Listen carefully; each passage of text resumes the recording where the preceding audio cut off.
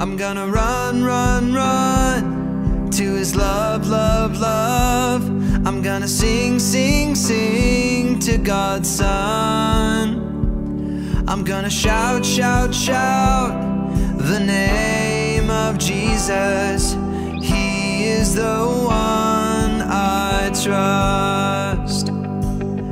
When I'm alone, when I'm afraid, I know that He is with me every day. He's by my side, He hears me when I pray. Jesus, I trust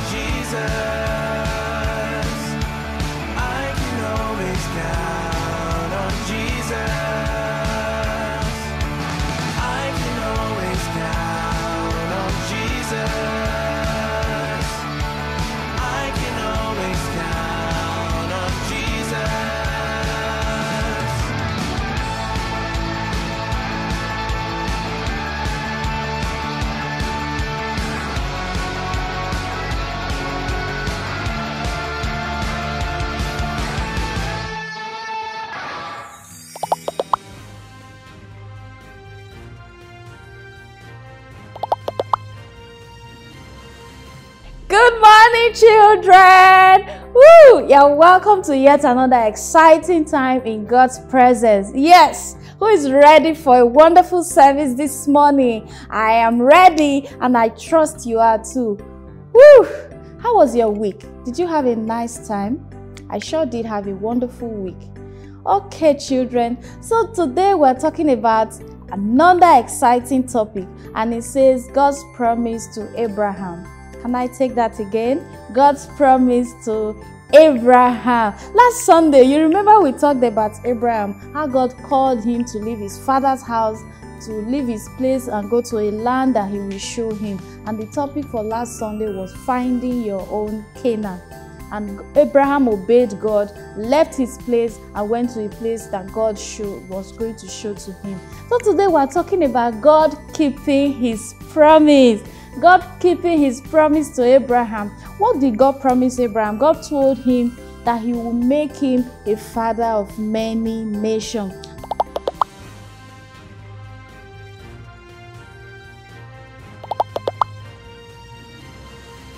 Before we continue, we're going to be taking a memory verse. A memory verse is taken from Genesis chapter 17, verse 4. I'll take that again. Genesis chapter 17, verse 4. And Genesis chapter 17, verse 4 says, My promise is with you, and you shall be a father of many nations.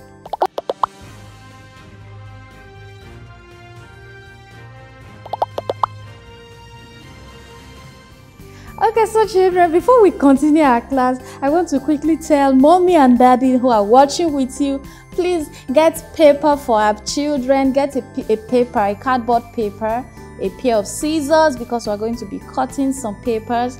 And then we need some glue too. And then we need glitters. If you have glitters get them ready. But if you don't have not to worry. We'll make do whatever you have. Once again get your cardboard paper ready. Get a pair of scissors and get your glue or your and your glitters ready for the activity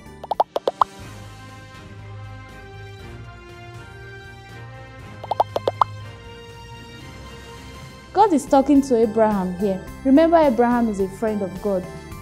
God is talking to Abraham and telling him that his promise, his covenant is with Abraham and he will keep his promise and he will make him a father of many nations. That was what God told Abraham when he obeyed and left his place and went to a land that God showed to him.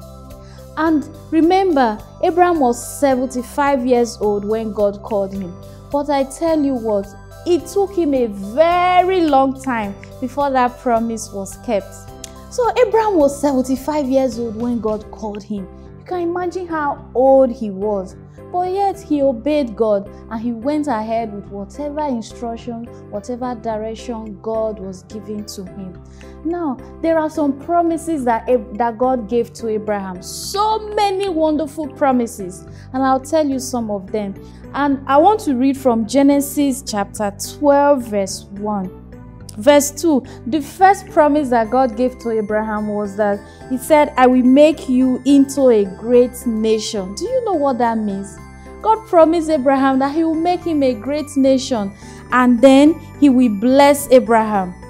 That is where we all come from today. We are all children, all sons and daughters of Abraham. Our blessings come from the blessing that God promised Abraham. The second blessing God promised is that he will make his name great. You can imagine, we are still calling Abraham till date. We even sing with his name, right? Okay, that's the that's the beautiful thing about God's promise. The second promise is that he will make his name great. And then thirdly, God promised Abraham that he will bless him.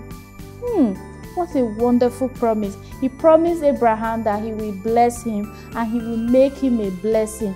And no every other person will also bless Abraham. And guess what?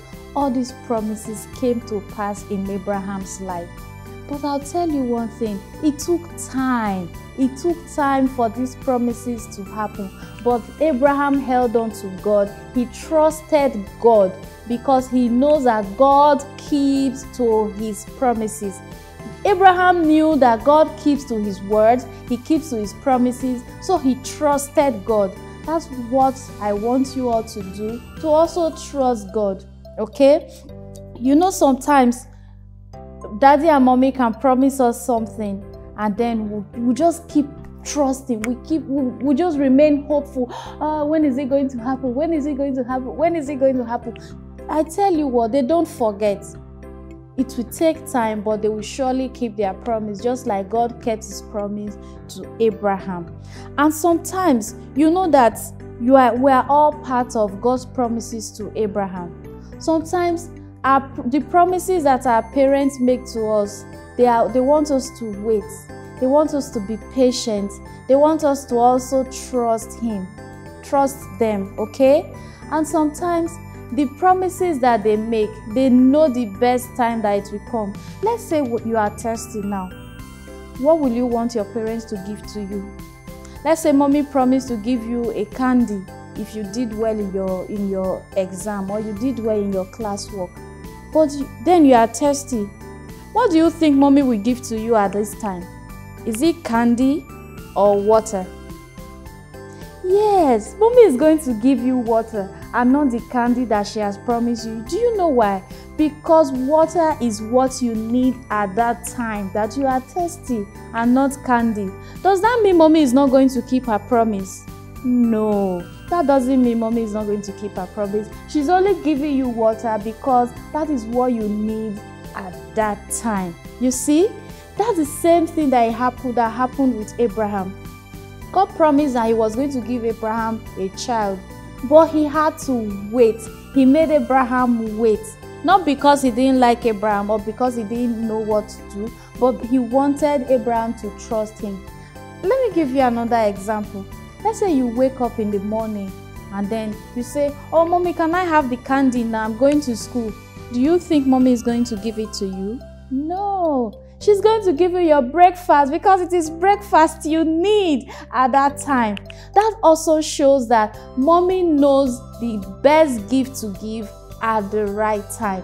And when it is other time, mommy can choose to give you your candy because it is the right time for her to fulfill that promise. Okay? Just like God, just like our, um, our parents, God knows the right thing to give to us at the right time. Sometimes the promises that God makes to us, we have to take time, like our parents, we have to wait.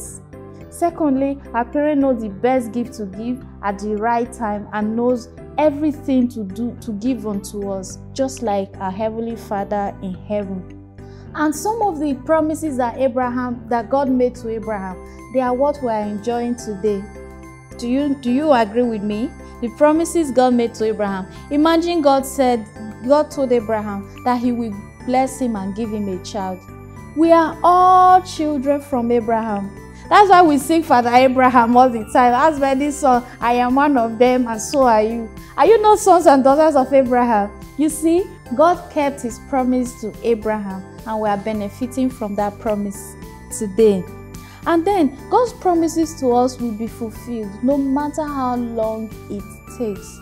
So I'm going to encourage you children, when mommy and daddy gives you gives a promise, don't go about shouting, Oh, mommy, can I have my gift now? Can I have my gift now? Or you start crying, or you start throwing tantrum. You hit yourself on the floor, you start crying, oh, I want my gift now. No, don't do that. Be like Abraham. Wait on God, wait on your patient, on your on your parent patiently calmly and gently and keep waiting. And trust me, the blessings will surely come. So sometimes I, our parents know what is right for us, they know what is best for us, and we should trust them the same way Abraham trusted God. He held on to God's word, he held on to God's promises. And guess what? The promise of God in Abraham's life came to pass. God said he was going to give Abraham a son, he gave him a son. God said he was going to bless Abraham, he blessed Abraham. That's why we can sing today Abraham's blessings are mine. Hallelujah. Abraham's blessings are mine. Hallelujah. I am blessed in the morning. I am blessed in the evening. Abraham's blessings are mine.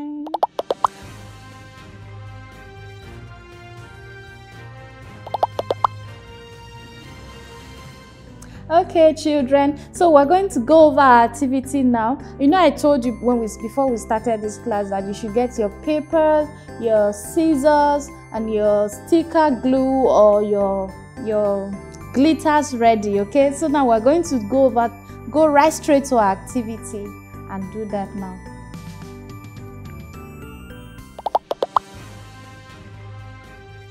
Okay, so children, we're here. Time for activity. I hope you have your, your, your materials ready. I've got my scissors, my cardboard paper, I've got some paper collage, and then I've got my glue. So the first thing we're going to cut, you cut, what we are doing, we're making a star shape, okay? So you can just draw a star shape anyhow. Don't laugh at me. All right, okay, so I'm going to cut out my star shape. I hope you're doing the same thing, all right? Cut out the shape. Cut it out, cut it out, cut it out. Let's go.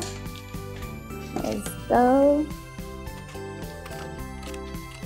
Okay. Cut it out nicely. Or you can tell, ask mommy and daddy to cut it out for you, okay? So you don't get injured with the scissors. Mommy and daddy can do this for you. Okay. cut this out. I told you don't laugh at my star shape. okay.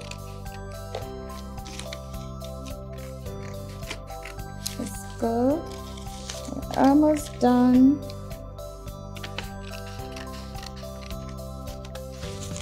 Almost done cutting it out. There you have it. Yes. Okay, so I have my star shape already. So I'll just get my glue, okay? And then apply my glue in here. Apply it very well so that you'll be able to stick your glitters or your paper collage. I'm using paper collage. I don't have glitters. If you have glitters, you can use your glitters. Okay? I'm done applying the glue cover it back and then have my paper collage okay